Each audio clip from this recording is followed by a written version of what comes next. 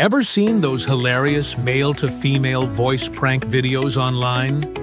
If you've ever wanted to change your voice in real time too, you're in luck. Today, I'm showing you an awesome Otolly free voice changer you've got to try. My top pick for real-time voice changing is SoundBot. It's packed with over 300 different voices and more than 600 sound effects. SoundBot is very easy to use. Open SoundBot and make sure your input and output devices are connected under Settings. Head over to the voice box and select Female Voice. You'll find a bunch of different styles. I'm picking the cute voice for this demo, Tart Talking, and you'll hear your voice change live. SoundBot is the best real-time voice changer.